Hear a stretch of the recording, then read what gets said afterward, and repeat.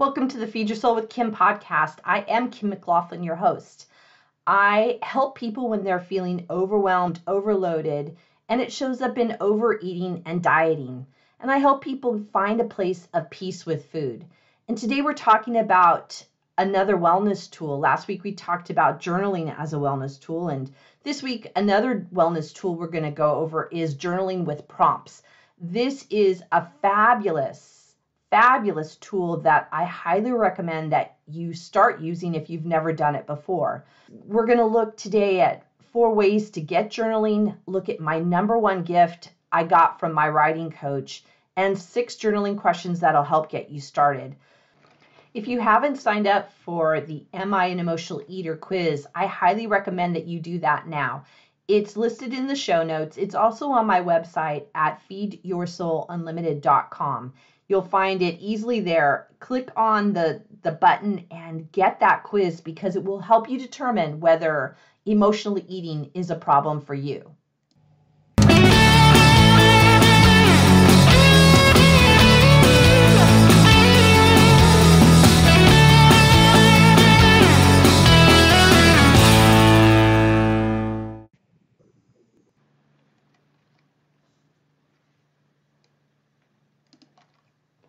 Last week on our podcast, we talked about the first of many wellness tools I'm going to go over on this podcast. And we talked about journaling and we talked about the idea of conscious journaling and using journaling through the idea of morning pages, which I learned from Julia Cameron.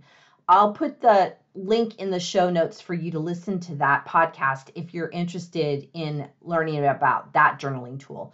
Today, I want to talk a little further about journaling, and this is a journaling method I love to use, and it's called journaling with prompts.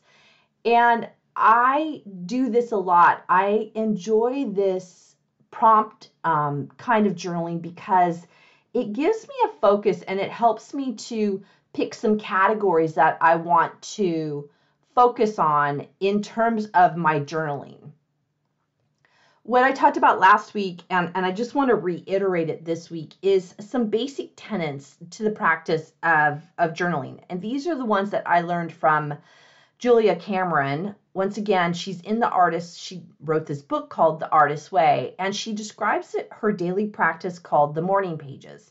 And some of the tenets of this practice is write in your journal daily, write three pages in your journal, and have that writing be handwritten um, and not on the computer. So it's really using the the pen to paper, so to speak, as your way of writing.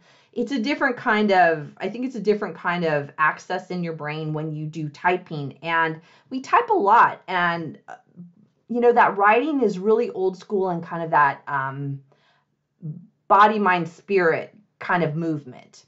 So another tenant that she talks about is she talks about writing when you wake up in the morning. I'd say that that's a nice idea. I don't always um, do that today. I got up, I got ready, I went to the gym, and then I did my writing when I got home from the gym. So it was not first thing in the morning, it was later in the morning. So I I figure if I'm writing at some point during the day, I'm I'm going to call that good. So I like the idea of doing it in the morning, but that just doesn't always work well for me. And also, it hasn't always worked well for my clients. So journal when you can. The last tenet is writing without stopping. So it's really putting your pen to the paper and just writing, writing, writing, and not having crossouts, not worrying about punctuation, not worried about spelling, not worried about how the um, how it sounds on the page. It's really about keeping the pen moving. I find for me that three pages longhand without crossouts with when I keep writing takes me about 10 minutes. And as I've talked about before, we all have 10 minutes. You can find 10 minutes in your day that you can write and that you can journal. And I'm writing or I'm um, talking about this journaling as a wellness tool again today because I really found this last week that I had so many ahas, so many breakthroughs in terms of ideas of things that I wanted to do and understanding things more through the journaling. And every time I start, if I stop and I start back to my journaling and I journal on a regular basis, I really find I have these breakthroughs and I feel so much better. So it's been good for me to talk about journaling, to talk about it on this podcast. And I wrote about it for my blog also because it reminds me that I want to keep journaling because it's good for me. When I, when I say it's good for you for your wellness tool, it's also good for me for my wellness tool. So that's my my plug for for journaling. Um, today we're going to talk about a different practice than what Julia Cameron talks about, and this is a journaling practice that I learned on a writing retreat, which I've actually been on quite a few writing retreats with uh, my writing coach, Laura Davis. And Laura Davis is an extraordinary writer, and she co wrote the seminal book on childhood sexual abuse called The Courage to Heal. I got that book way back in the day through my studies as being a therapist, and I was so honored to be in her in her seminar and learn from her about writing because she's a really good writing teacher and writing coach. And so I put links to her website in the show notes. Um, lauradavis.net is her is her URL. Check her out, please. She's so good and she's so good at being a writing coach. What I learned from some guidelines from Laura from my retreats with her are some things that I think will help you out too. One of the things I learned from Laura is that your journal doesn't have to be pretty.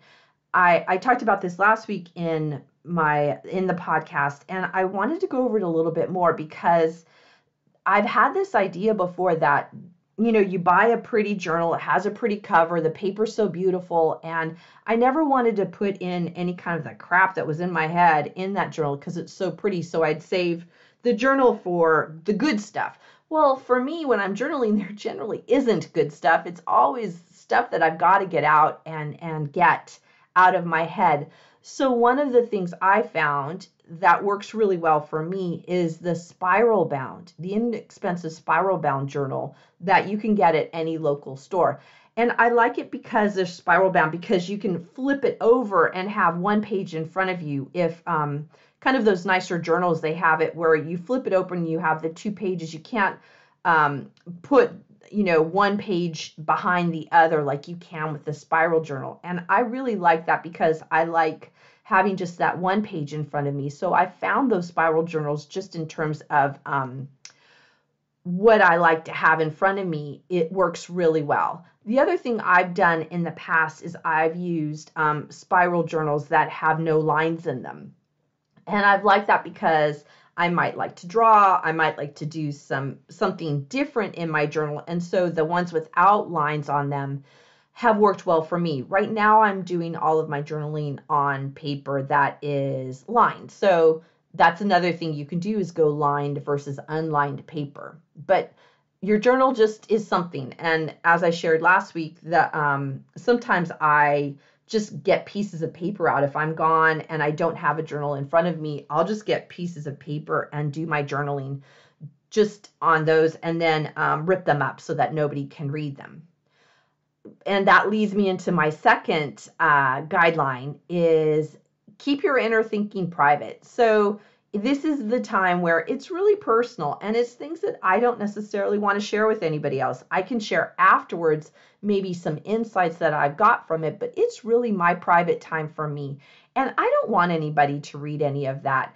It used to be a long time ago. Um, I was afraid that when I was, there was some tough stuff going on, and I would write it in my journal, and I would actually put on the front of my journal, you know, if you're reading this if you're looking in this journal and I'm not around, I was afraid that if I died, that maybe some of you would find my journal and um, read it. And I just said, I put on the front of it, I said, if you're reading this and I'm not around, out of respect for me, please um, toss this journal because if if it was something I wanted you to know about, I would have told you. So that was a way I could write really, really personal stuff in my journal and not feel concerned that somebody might read it. Hi, guys, this is Kim, and I want to let you know that the Emotional Eating Solutions eight week course is open now. You can find it on my website at feedyoursoulunlimited.com. Go to the Work with Kim tab and click on that. This is the time to get peace with food, and I know this course will help you. You also can find the link in the show notes to the Emotional Eating Solutions eight week self study course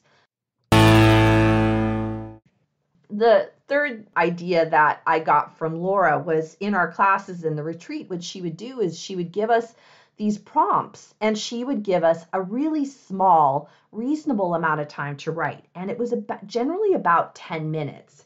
And there was, it was interesting to me because 10 minutes didn't feel like too much, but it didn't feel too little. It was really a nice, amount of time. Uh, we would build up for longer periods of time to write, but I found that 10 minutes a day, especially if you're not used to journaling, it really was so helpful because then that rebel side of me that says, Oh, I don't have enough time to write, that rebel side could be put aside because we all can find 10 minutes. You're going to find 10 minutes.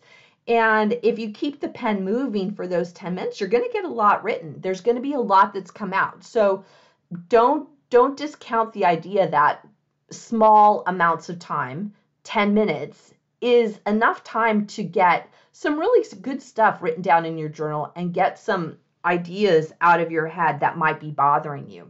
One of the greatest gifts I got from my writing retreats with Laura Davis was learning to just write the worst crap ever. And I found that so encouraging coming from a woman who is you know, a best selling author, has written books that she's been on Oprah. So she has been well known for her writing, and that she would say to us in her group, just write the worst crap ever, that we needed to get that that all the stuff out of our head, especially if you're going to be a writer um, and write more things, books and articles, that if you just get that that stuff in your head out that it's so freeing and it and it's not about having any kind of writing that anybody reads. It's about getting out of your head. And that was one of the best gifts that i've ever gotten. And i i remember that to this day that i just write down the worst crap ever in my journal that all the stuff in my head.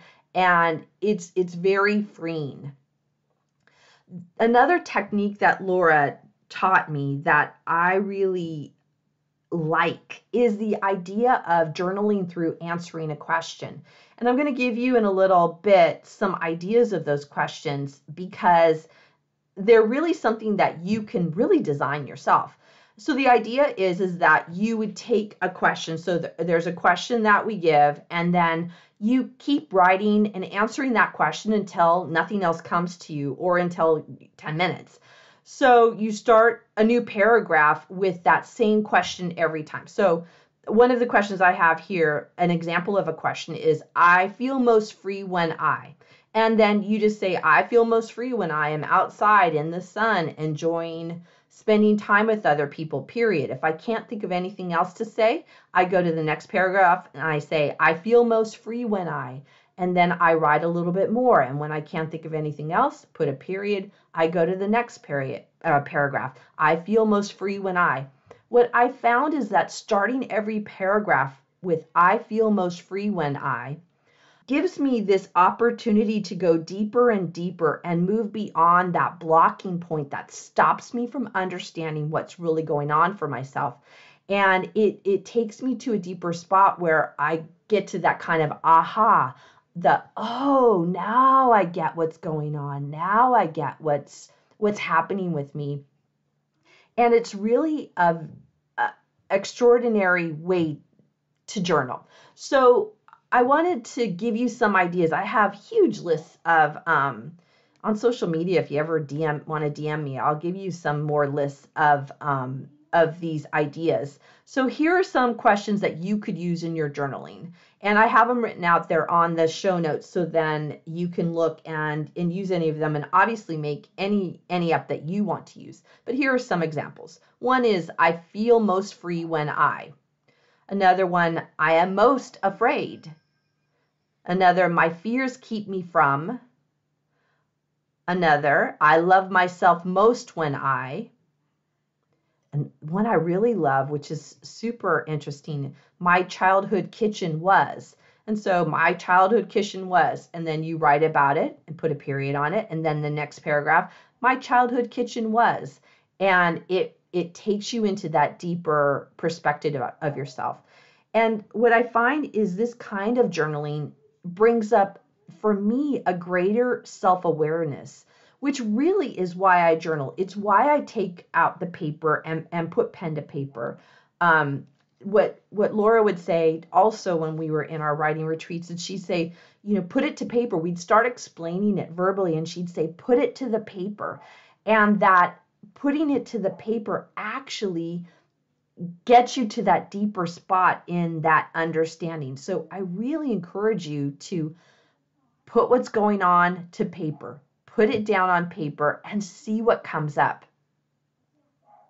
Once I got over the idea that my writing had to be about um, being for other people or to write where other people had to read it, it felt like a freer way to write and a freer way to express myself. So I really encourage you to try this style of journaling and see what it does for you.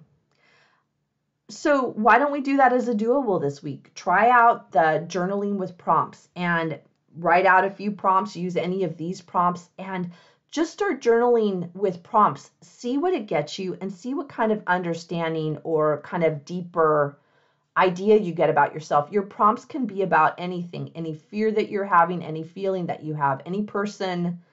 I, am angry at my husband when he, and then you can write all about that. I am scared to take the next step and then write about that. And so your prompts can be related to whatever's going on in your life for you to help, for you to get that deeper understanding. So give that a try this week. Make that your doable. And I look forward to hearing how you all do. Um, like, look me up on social media. Um, I have some links and let me know what's going on because I'd really love to know how this works for you. This is Kim McLaughlin from Feed Your Soul with Kim. I really enjoy spending this time with you, and I look forward to talking with you next time. Bye bye. Thank you for joining us on the Feed Your Soul with Kim podcast. We come to you every Monday with fresh new ideas to help you end emotional eating and put food in its proper place as nourishment. Please be sure to subscribe to this podcast and review it and let us know what you think. Thank you for joining us.